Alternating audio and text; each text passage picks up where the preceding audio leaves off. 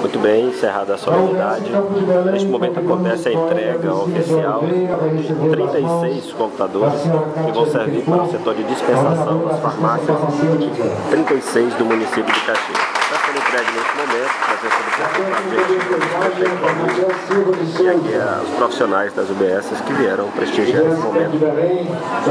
Também profissionais da Secretaria de Saúde. Né? Momento, momento importante aqui. A atenção primária também está vindo, está aqui neste, neste momento. Momento da entrega dos equipamentos para as UBSs.